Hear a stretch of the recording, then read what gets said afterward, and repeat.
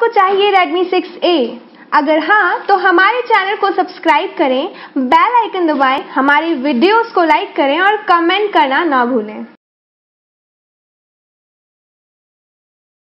ज़िले के ग्राम हथेरी निवासी बंसी अहिरवार की बचत खाता में से बैंक मैनेजर ने उन्नीस हज़ार रूपए निकाल लिए हैं। इसकी जानकारी खाता धारक को नहीं थी।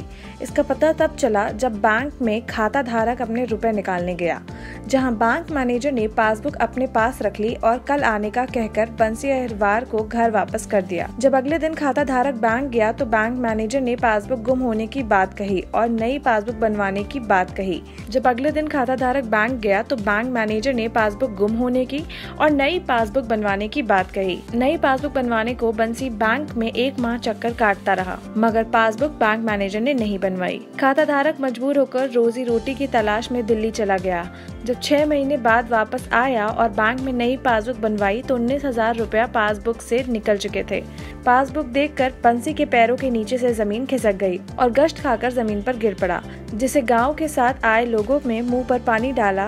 होश में आने पर बंसी ने कॉरपोरेट बैंक के मैनेजर के खिलाफ मोहनगढ़ थाना में 400 की रिपोर्ट दर्ज करवाई। टीकमगढ़ से जमील खान की रिपोर्ट, आप देख रहे थे news views three sixty dot खबरें अलग अंदाज में।